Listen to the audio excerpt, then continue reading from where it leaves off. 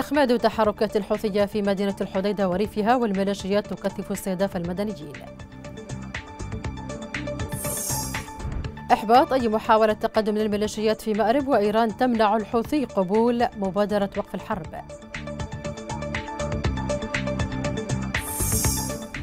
تكبيد الميليشيات خسائر في قطاعي الفاخر وبتار ومصرع عشرات الحوثيين في الأحكوم جنوب تعز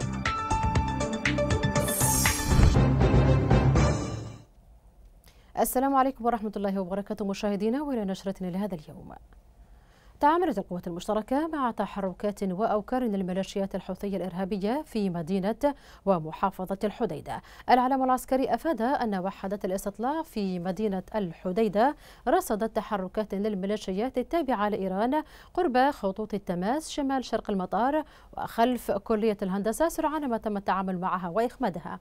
وأضاف أنه تم التعامل مع تحركات مماثلة لذات الميليشيات شمال غرب وجنوب شرق مدينة حيس وجنوب مدينة الدريهم محققة إصابات مباشرة في صفوفها وإجبارها على الفرار إلى أوكارها في الحدود الإدارية لمحافظة إب بعد مصرع وجرح عدد من عناصرها.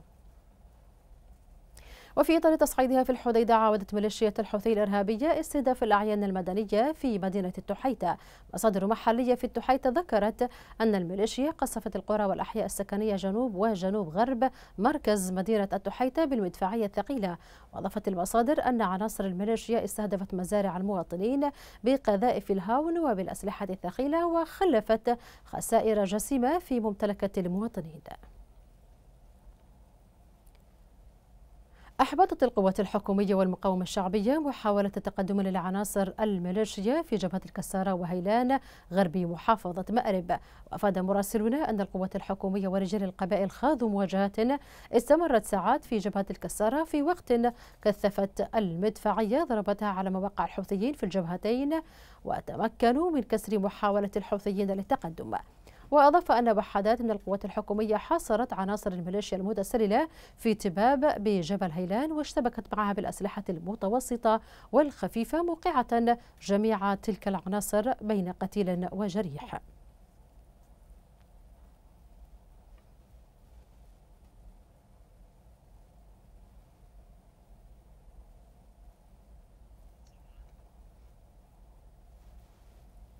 معنا عبر الهاتف العقيد هيثم منشلين مدير المركز الإعلامي للقوات المسلحة. مرحبا بك معنا ما مستجدات المواجهات في مأرب. بسم الله الرحمن الرحيم.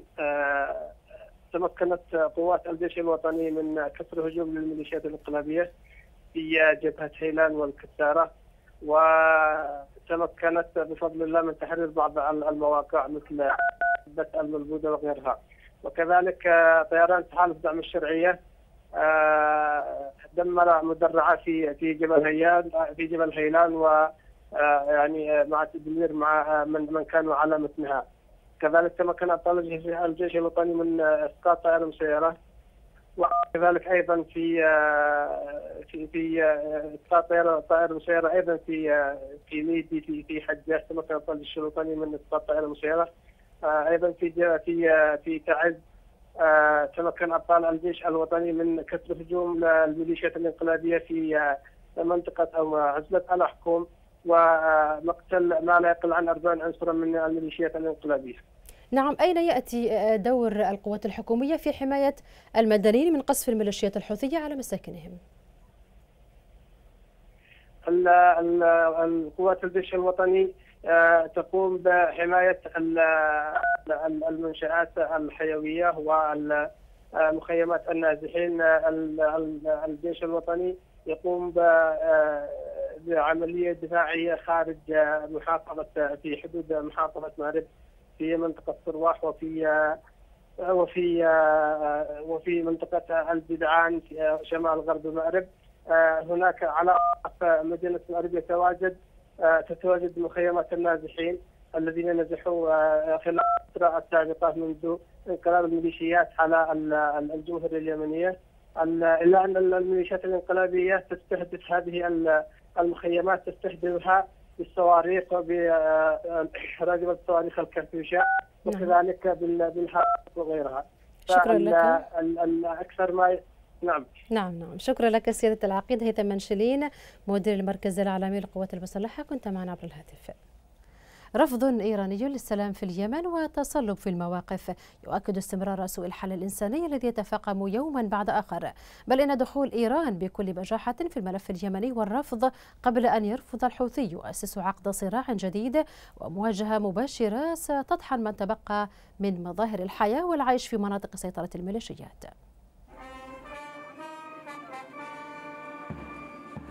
وقبل انطلاق أي موقف حوثي لرفض المبادرة السعودية الرامية للسلام وإيقاف الحرب. خرج حسن إيرلو سفير إيران غير الشرعي في اليمن لأن يعلن رفض طهران لهذه المبادرة وكتب رفضه بالفارسية. موقف لا يمت إلى الدبلوماسية الدولية بأي صلة وفيه من انتهاك السيادة ما يشيب له الولدان وتتمعر له الوجوه. فلم يترك هذا الوجه الإيراني للحوثي أي مهرب أو مجال للمراوغة تحت مسمى السيادة أو الدفاع عن اليمن. فقد استولى هذا الشاحب على كرسي الحكم العسكري لصنعاء فعليا. انتهاك السيادة اليمنية هو ذات انتهاك السيادة العراقية من قبل إيران. وموقف حسن إيرلو الأخير من صنعاء هو ذات موقف إيرج مسجدي السفير الإيراني في العراق والذي ظهر به في فبراير الماضي منتهكا للسيادة العراقية بمطالبة تركيا الرحيل عن الأراضي الكردية الغنية بالنفط في العراق. وكلا السفيرين الإيرانيين يتحدثان بكل بجاحة عن الاحتلال. تأتي هذه التصريحات غير الدبلوماسية بعد تصريحات أكدت أن صنعاء هي العاصمة الرابعة لنظام خامنئي بعد بغداد وبيروت ودمشق. يرى السياسيون أن خروج إيران بهذا الوجه الوقح يؤسس فعليا لعقد صراع جديد وينهي كافة الخطوات السياسية لمحاولة احتواء الحوثيين في قمقم حوار سياسي. بل أن وجهات نظر الحوثيين من صنعاء هي الأخرى باتت تتعامل كالذنب بالنسبة لطهران. وهذا ما خرج به صراحة محمد علي الحوثي الذي ربط أي سلام في المنطقة العربية قبل التفاوض على الملف النووي الإيراني بالتنازل المجاني. فتوقيت التغريدة ينبئ عن الكثير ويؤكد التبعية المطلقة. من جانبها السعودية صاحبة المبادرة لم تبدي أي رد فعل تجاه الموقف الإيراني من السلام في اليمن بعدما ألقت كافة أوراقها وتنازلاتها إلى ملعب ميليشيات الحوثي الإرهابية. وهناك انتقاد كبير من تسليم هذا الملف الإنساني إلى يد ميليشيات تتحكم بمصائر اليمنيين.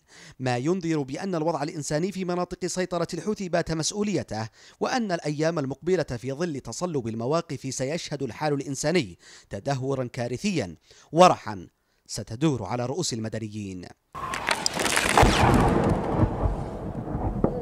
وبين المبادرة ورفضها بل وبين السلام واستمرار الحرب لم يعد من خيار آخر غير الخيارات العسكرية التي تعد أقرب الطرق لإنهاء هذه المعاناة الإنسانية والأزمة الدبلوماسية من خلال إلغاء اتفاق ستوكهولم ودخول الحديدة ومنع أي تعامل سياسي مع الميليشيات عبر ما تسميه الأمم المتحدة بجهود السلام في اليمن.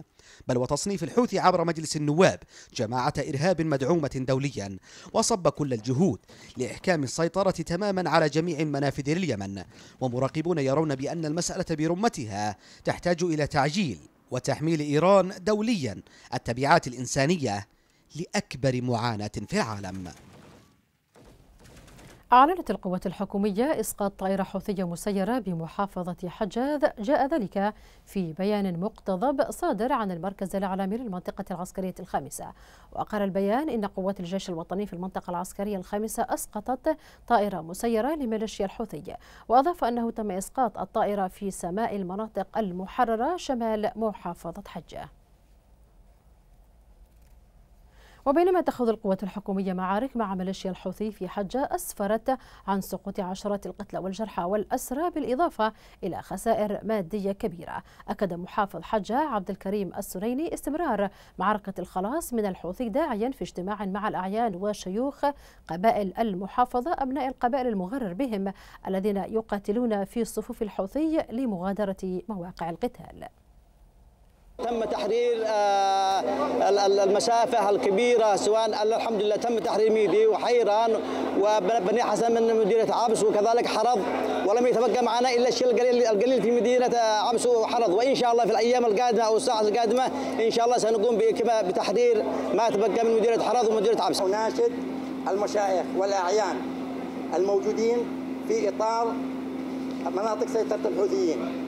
أن يخافوا الله في في المجتمع المحيط بهم أولياء الأمور عليهم أن يحفظوا أولادهم. لا لا يلتحقون بالحوثي نهائيا.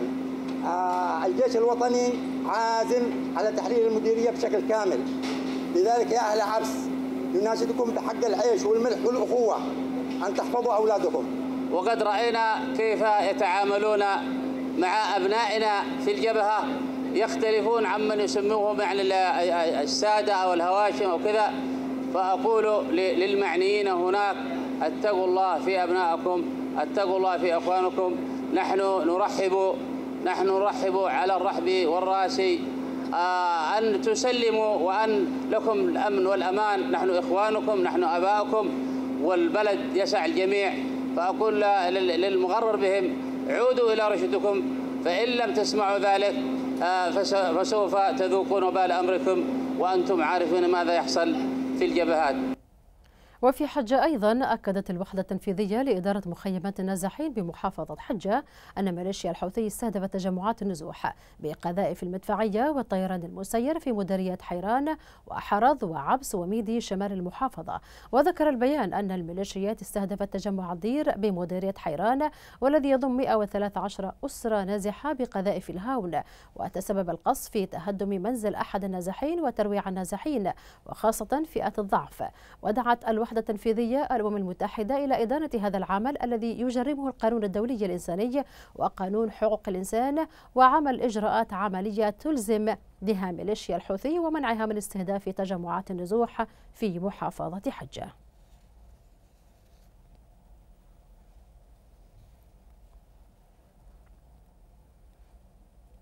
القذيفة أتى من الجهة الشرقية وخشت من الجهة الشرقية وخرجت من السقف من فوق خربت.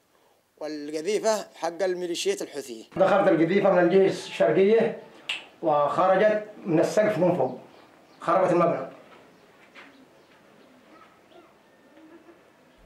السياق أكدت الوحدة التنفيذية لإدارة مخيمات النازحين في مأرب أن الميليشيا الحوثية استهدفت بالأسلحة الثقيلة والمقذوفات والصواريخ بشكل غير مسبوق مخيمات النازحين في مديرية صرواح بمأرب وأشارت إلى أن هذه الهجمات تأتي بعد يوم واحد من زيارة المنسق المقيم للأمم المتحدة للشؤون الإنسانية في اليمن إلى مخيمات النازحين بالمحافظة والتي أدت إلى إصابة خمس نساء وإلحاق أضرار كبيرة في المخيمات. ودعت الوحدة التنفيذية لإدارة مخيمات النازحين ندعو المجتمع الدولي وجميع المنظمات الدولية والحقوقية والجهات المعنية بالشأن الإنساني للتحرك العاجل لإيقاف الاعتداءات وحماية النازحين وإدانة ما تقوم به الميليشيات الحوثية من تصعيد ممنهج وإجرامي بحق النازحين.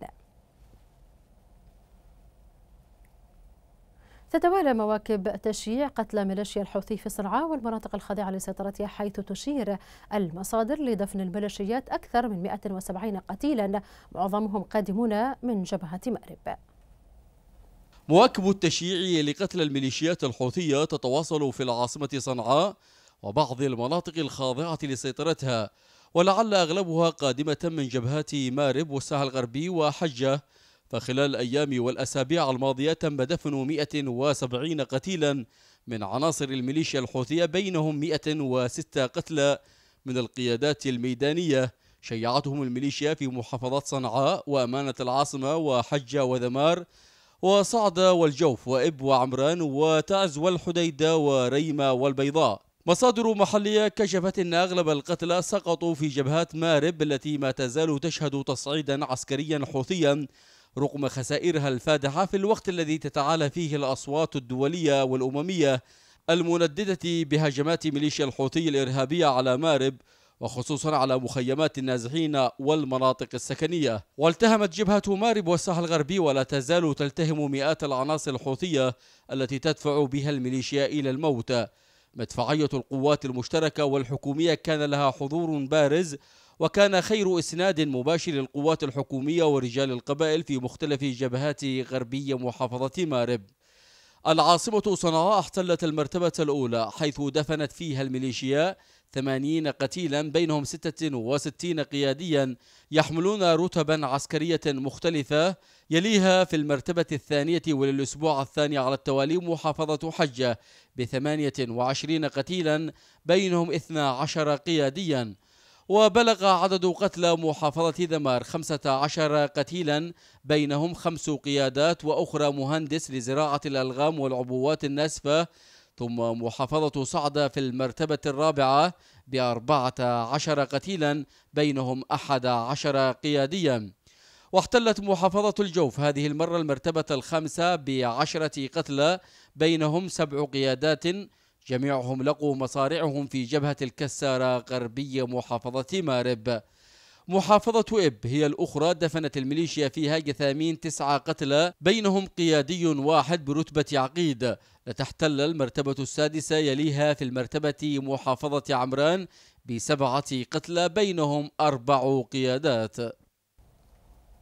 وفي الضالع كسرت القوات المشتركة هجوما حوثيا في جبهات شمال غرب المحافظة. وذكر المركز العالمي لمحور الضالع أن القوات المشتركة تمكنت من كسر هجوم شنته الميليشيات باتجاه مواقعها في قطاعي الفاخر وبتار شمال غرب جبهات محور الضالع وأكد أن الميليشيات تكبدت خسائر جديدة في صفوفها بمواجهات مباشرة استخدمت فيها الأسلحة المتوسطة والخفيفة.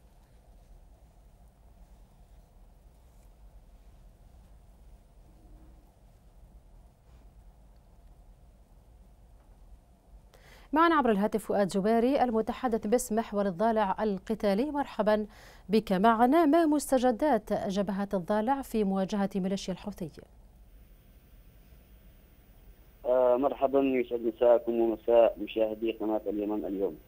آه طبعا آخر مستجدات في جبهات محور الضالع. نعم تسمعوني؟ نعم أسمعك. تفضل. اخر المستجدات كانت هناك هجوم أو محاولة هجومية للميليشيات الحوثية أو إن صح التعبير محاولتين هجوميتين للميليشيات شنتها ليلة أمس. الأولى كانت باتجاه قطاع الفاقر ثم تم كسرها وكانت هناك محاولة هجومية باتجاه قطاع بتار. أيضا هذه المحاولة كانت الأشد واستمرت المواجهة فيها لأكثر من ساعة وتم كسرها وصدها. وتكبيد الميليشيات خسائر في صفوفها آه، بالمواجهات مباشرة بالأسلحة الخبيثه. هذه الهجمات أتت لرفع أو كمحاولة لرفع معنويات العناصر الحوثية التي تكبدت خسائر في آه، اليومين الماضيين وكانت هناك استهدافات لعربات أو آليات قتالية لهم تم احراقها وأيضا هناك أفراد وعتاد آه، كانوا كانوا فيها نعم. إلى جانب قيام الوحدة المدفعية التابعة للقوات المسلحة في محور الضالع باستهداف تجمع لهم جنوب آه، منطقة حبير يحيى شمال شرقي مديرية الحشا وكانت هناك خسائر كثيرة من آه، العناصر الميليشيات نعم نعم آه، فؤاد الملاحظ خلال الفترة الأخيرة توقف الجبهات واقتصارها على كسر هجوم حوثي أو إحباط تسلل ماذا يعني ذلك؟ الجبهة الضالع هي تتأثر بالجبهات الأخرى بشكل آه، كبير. آه، لكن آه، هذه الجبهة تظل مشتعلة بشكل متواصل. المواجهات في جبهات محور الضالع خلال الأشهر الماضية عبارة عن عمليات كر وفر وعمليات هجومية ومن قبل الطرفين. وكذلك قيام القوات المسلحة في جبهات محور الضالع بشن كثير من العمليات عمليات إغارة عمليات هجومية عمليات تسلل. وأيضا استهدافات لسلاح المدفعية، استهدافات للقناصات آه، أشبه إلى آه، حرب آه، استنزاف أدخلت الميليشيات الحوثية في هذه العملية الاستنزافيه بشكل كبير وأيضا أرهقتها في هذا الجانب، نعم. نعم شكرا لك فؤاد جباري المتحدث باسم محور الضالع القتالي.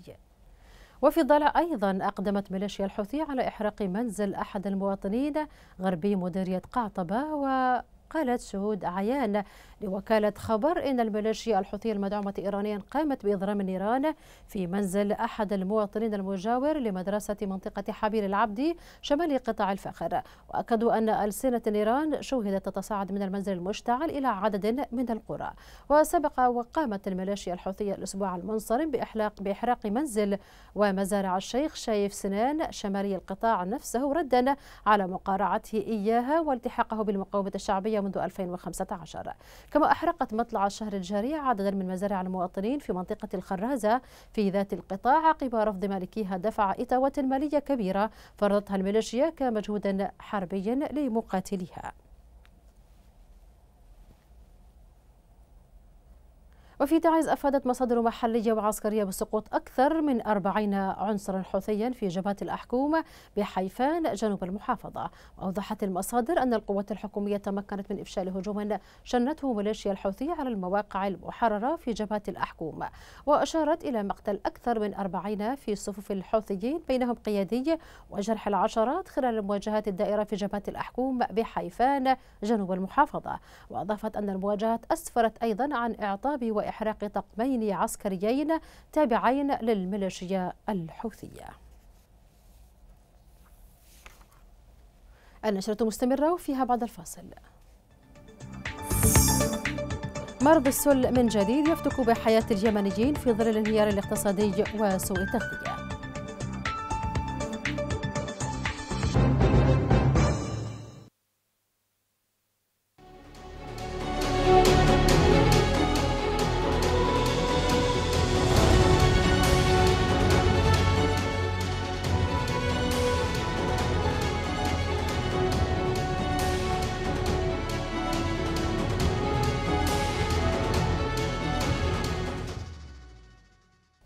تواجه أكثر من عشرين دولة حول العالم نقصا حادا في الغذاء وبحاجة لتوفير مساعدات عاجلة بالأخص اليمن وجنوب السودان وشمال نيجيريا.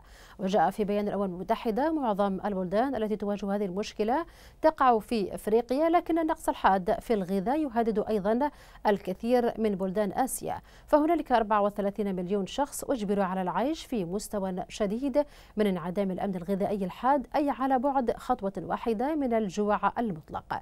وتعود الزيادة المتوقعة في انعدام الأمن الغذائي ببؤر الجوع الساخنة في الفترة من مارس حتى يوليو 2021 إلى تأثير عوامل مثل النزاعات المسلحة ووباء فيروس كورونا والأحداث الجوية. تتزايد الأمراض والأوبئة التي تفتك بحياة اليمنيين نتيجة الحرب التي أشعلتها الميليشيا على اليمن واليمنيين وانهيار الوضع الاقتصادي وسوء التغذية ليعود السل إلى البلد من جديد كغيره من الأمراض التي تم التخلص منها منذ زمن.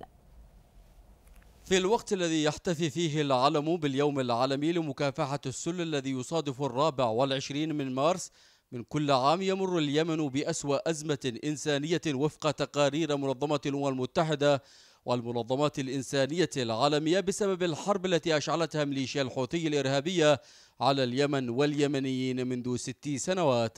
مرض السل لا يزال يمثل إحدى المشاكل الصحية والاجتماعية والاقتصادية في اليمن إذ يمثل الوضع الوبائي للسل في اليمن وفقا لتقديرات سابقة لمنظمة الصحة العالمية بأن هناك 25 حالة سل رئوي من بين 100 ألف نسمة من سكان الجمهورية اليمنية ومعدل الحدوث السنوي الكلي لجميع أشكال السل يعني 60 حالة سل جديدة لكل 100 ألف نسمة من السكان كما أن معدل انتشار السل في اليمن يقدر بحوالي 78 حالة لكل 100 ألف نسمة من السكان. لكل أشكال السل ومعدلات وفيات السل تقدر بتسع حالات وفاة من كل 100 ألف نسمة من السكان مما يعني أن الأوضاع التي فرضتها الحرب والأوضاع الاقتصادية فاقمت الأوضاع وزادت من عدد الحالات.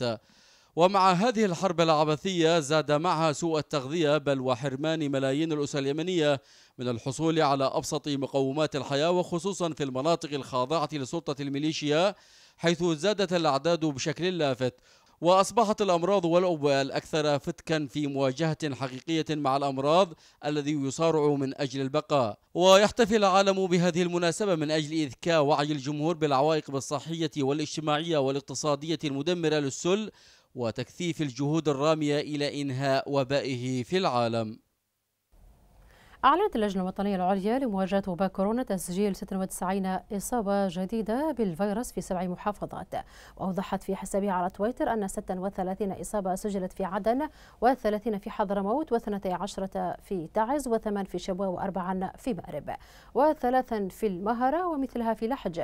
وأضافت اللجنة أنه تم رصد 14 وفاة بينها 11 في حضرموت وثلاث في عدن والمهرة وشبوة بالإضافة إلى تسجيل 20 حالة شفاء تسعة منها في المهرة وست في حضرموت وخمس في تعز. وبذلك ارتفع إجمالي الحالة المؤكدة إلى 3612 منها 785 وفاة و 1566 حالة تعافٍ. وفي المخا أوضح مدير مستشفى المخا الدكتور ناصر عسكر أن المستشفى يستطيع استقبال حالات المشتبه إصابتهم بكوفيد 19 نظرا لتوافر جهاز PCR الخاص بفحص الفيروس. وأضاف أن مستشفى المخا أيضا يحتوي على قسم عزل معد ومجهز لاستقبال الحالات التي تم التأكد من إصابتها بكورونا بطاقة استيعابية 15 سريرا وبالإمكان زيادتها إلى 25 سريرا. وأكد الدكتور عسكر توافر المستلزمات الوقائية الخاصة بالأطباء والممرضين في المستشفى حرصا على سلامتهم من أي عدوى.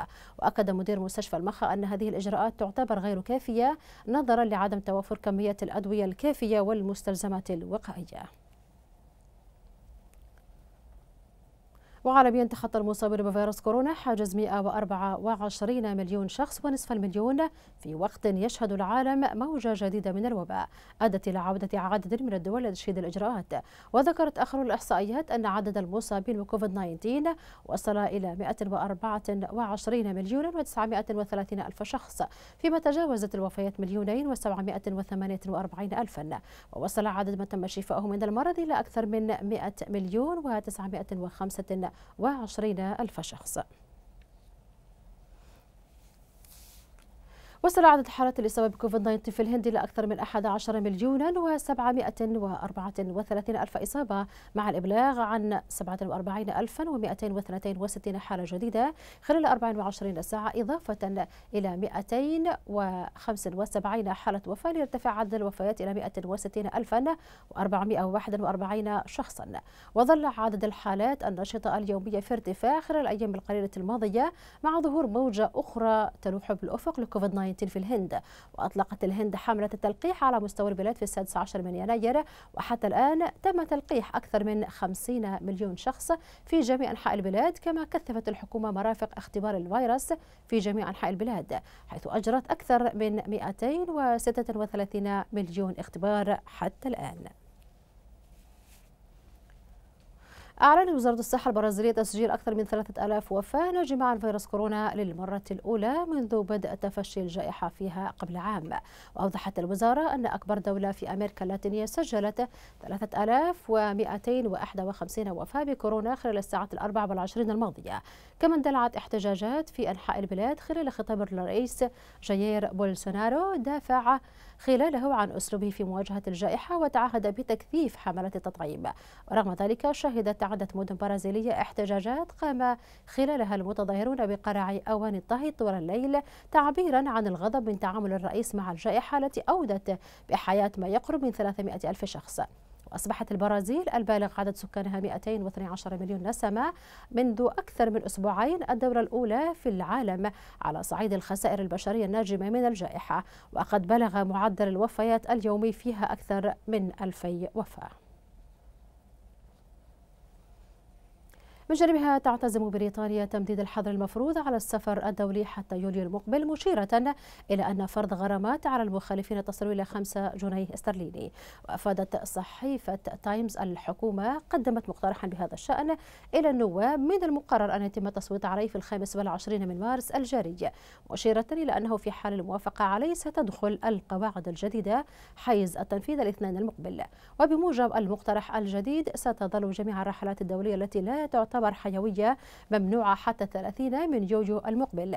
يشار إلى أن بريطانيا تشهد وضعا وبائيا شديد الصعوبة منذ ديسمبر الماضي نتيجة انتشار سلالة متحورة من الفيروس التاجي. النشرة مستمرة وفيها بعد الفاصل.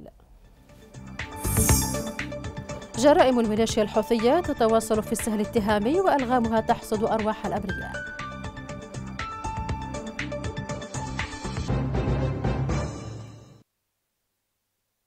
كل سبب الحويته بسبب الحويته فجروا لأمي.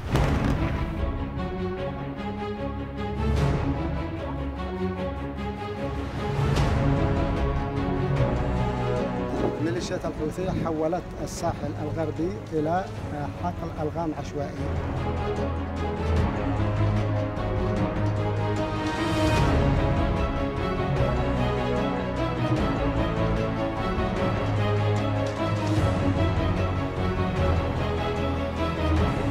يعني لسبب الحوثي هو اللي يعني يزرع الألغام دي ويسبب يعني يخسر الإنسان ابنائه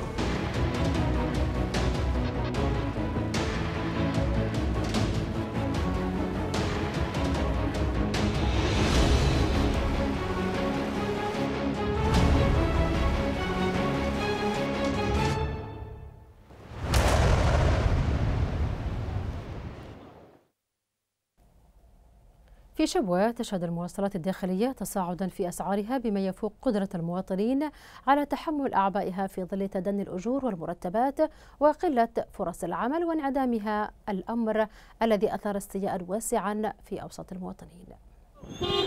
ارتفعت تعرفة أجرة المواصلات الداخلية في محافظة شبوة وهو ما يضيف أعباء جديدة على كاهل المواطن البسيط الذي بات يغرق في وحل المعاناة اليومية التي تكدر حياته ومعيشته خاصة في ظل تدني الأجور والمرتبات وقلة فرص العمل أو انعدامها. الزيادة الحادة في أجرة المواصلات والنقل أثارت استئياء وسخط شعبي واسع لما له من تبعات تضر شريحة كبيرة من المواطنين والعمال وطلاب الكليات والمدارس الذين قد يعجز الأغلبية منهم عن توفير قيمة أجرته اليومية. أصبح إيجار النقل باهظ وعالي. حتى أن الطالب لا يستطيع الوصول إلى جامعته أو إلى كليته إلا بصعوبة. نشكي من ارتفاع سعر الأجور أصحاب الباصات. طلعوا الإيجار من 200 لهنا لقريب ونحن طلاب وصراحة ماشي معنا وبعض الناس ماشي عندها.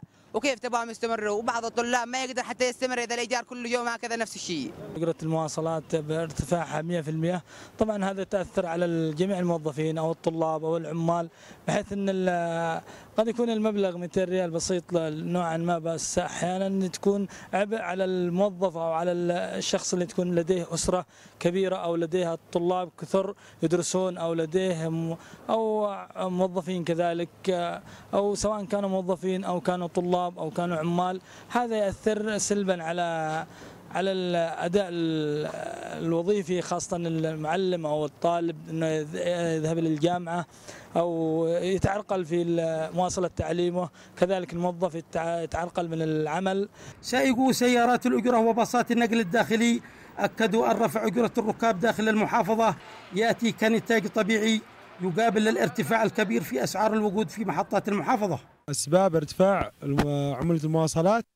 هو بسبب شح شحة أول شحة الوقود ثانيا غلو الوقود أصبحت ال 20 لتر علينا مضاعفة دبل عن أول. أول كانت الدبة توصل ل 6300 الآن توصل ل 13400 ريال. ارتفاع أسعار الأجرة والنقل ما هي إلا واحدة من قائمة الهموم والأعباء المعيشية والحياتية التي تكالبت على اليمنيين. منذ أفتعال الأزمة السياسية في البلاد من قبل الميليشيات السلالية الحوثية زبين عطية اليمن اليوم محافظة شبوة. توصل ميليشيا الحوثي الإرهابية جرائمها في السهل الاتهامي حيث تمضي ألغام الموت التي ملأت بها الجماعة باطن الأرض في حصد أرواح الأبرياء. قصة أرواق وشقيقتها أنموذج لجرائم الحوثي اليومية في الحديدة. أرزاق وأختها كانوا على قدر مع يتم وحياة مبكرة من الفقد والحرمان. استشهد والدهم وعائلهم الوحيد صدام مهيم. إثر لقم حوثي انفجر بدراجته النارية في منطقة الدنين بمديرية الخوخة. مخلفا وراءه أسرة مكونة من طفلتين وثمانية إخوة. بالإضافة إلى أبوين مسنين هدهم المرض وأوجعهم النزح والتشرد وفاقم من معاناتهم الفقر. طرح بلغم تنم خافت ندرنا لهم تطع وتطع حوتي. ندر على منو دفني؟ غيره. ولا حد دفني. هلا ماتوا مليان. شي ماتوا ده من المدرير هذا يموتوا ده يتو على مرغم يدعسوا على ما. نسمع عليها تتفجر بهم عند عندن هبولهم حويتي رعمك على حبه هناك ما بيكون مجمع عندنا إذا نشي مي ميت. قتل مهيم قبل أن يتناول وجبة غدائه الأخير مع أسرته التي كانت بانتظاره. خرج على أمل أن يعود بعد لحظات لكنه لم يعد رغم قرب المكان الذي ذهب إليه. وسمع دوي الانفجار الذي هز مسامع أسرته الذي كان يمثل البداية لمأساتها. لم يكن مهيم يعلم أن ثمة لغم قادر. في الانتظار سيخطف روحه ويحول جسده إلى أشلاء ليحول بينه وبين فلذات أكباده وإلى الأبد. لنا بمحوت قال لما راح أقول صلح غدا وأنا الآن شرجع. شروح ما عند خاله ممدنين ساعة قالوا قبلونا من مجمع قالوا لي جيب ابنك. هاي ترى ابني كده مقطع تغطي سعفوه لما خا ما تم خا روحوا لي بالعصر ميتوا من حال. ولغم لغم كلهم من الحواتي طريق عندنا في جرب لغم قسم لهم طرح كون الصين وهو تقطع رجليته وشرايين. المهم ما أذكر خلاص اتينا قثي بحرقة يشكو هذا المسن. فقدان ابنه وفظاعة المشهد عند استدعائه لاستلام بقايا أشلائه بعد أن بعثره اللقم الحوثي ليجد نفسه من جديد وبعد أن تجاوز السبعين من عمره مرغما على تحمل مسؤولية كفالة الأسرة. المكونة من عشرة أطفال وهو المهجر من دياره والمسلوب من أملاكه. من قبل عصابة إرهابية تجردت من القيم الإنسانية والأخلاقية. من محافظة الحديدة شرف الشمري اليمن اليوم. الحكومة اليمنية تسمح بدخول السفن محملة بالمشتقات النفطية إلى ميناء الحديدة في إطار التنفيذ للمبادرة السعودية والإعلان في عدن عن بدء عودة منظومة الكهرباء إلى الخدمة عقب وصول الوقود للتوليد. هذه الأخبار وغيرها تتابعونها في الملف الاقتصادي.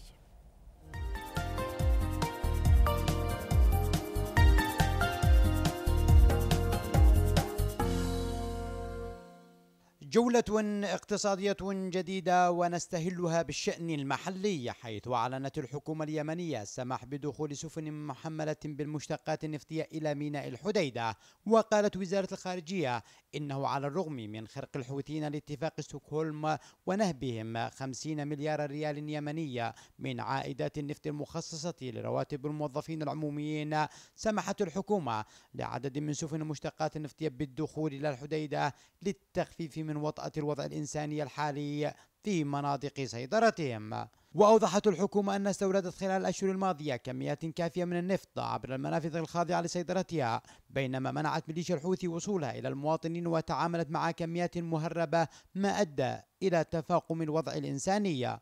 وشددت الحكومة على أنها تراقب الوضع الإنساني والاحتياجات الأساسية للقطاع الخاص وتنفذ واجبها لمنع أي آثار على المواطنين في مناطق سيطرة ميليشيات الحوثي أكد مصدر مسؤول في المؤسسة العامة للكهرباء في عدن عن بدء عودة منظومة الكهرباء إلى الخدمة عقب وصول المشتقات النفطية إلى محطات توليد الكهرباء. وأضاف المصدر أنه سيتم إعادة تشغيل محطات وارتفاع التوليد خلال الساعات المقبلة عقب وصول وقود الإسعاف من إحدى الشركات الخاصة مشددا على ضرورة إيجاد حل جذري لانتظام توفير الوقود لمحطات التوليد لتجنب الخروج المتكرر للمنظومة بواقع ألف طن من الديزل لليوم الواحد. وكان مسؤول فني كشف أن فترة انقطاع التيار الكهربائي وصلت إلى خمس ساعات أثناء توفير الوقود. بينما لا توفر محطات التوليد الحكومية أكثر من 40 ميجا. بالإضافة إلى 100 ميجا توفرها محطات الطاقة المشتراه في ظل تصاعد الأحمال في عدن وملامستها ال 300 ميجا. الأمر الذي جعل العجز كبيرا.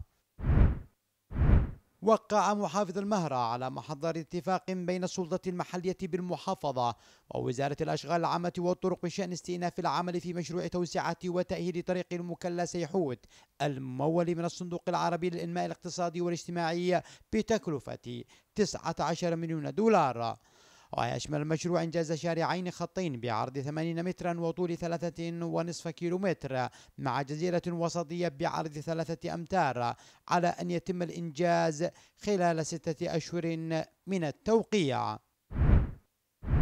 أعلنت هيئة الرقابة المالية في مصر الاتفاق مع البنك المركزي المصري على إنشاء صندوق لتمويل شركات الوساطة المالية وذلك في إطار مساء لدعم الأسواق وتنشيط أحجام التعاملات بالبورصة. وقالت الهيئة إن الهدف من الصندوق هو زيادة حجم السيولة بالبورصة المصرية ودخول مستثمرين جدد بالإضافة إلى زيادة الملاءة والقدرة المالية للمستثمرين الحاليين. وأخيرا قالت المديرة العامة لصندوق النقد الدولي إن أفاق التعافي من التباطؤ الاقتصادي الذي أفرزته جائحة كورونا غير متكافئة ويكتنف الغموض. تواجه بعض الاقتصادات الناشئة ومعظم الدول منخفضة الدخل خطر تدني معدلات النمو. مشيرة إلى أن أحجام التجارة من الممكن أن تنمو بنسبة 8.5% هذا العام و6.5% العام المقبل. وأوضحت أن انتعاش التجارة إذا أدير بشكل جيد يمكن أن يرفع النمو ومستويات المعيشة في العالم النامي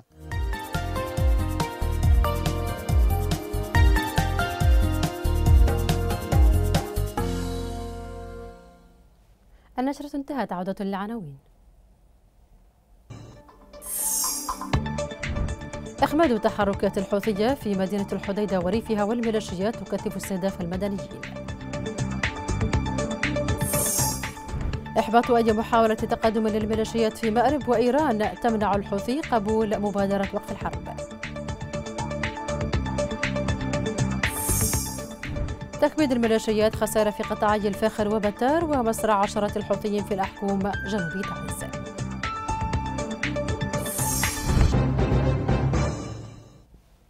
شكرا للمتابعة إلى اللقاء.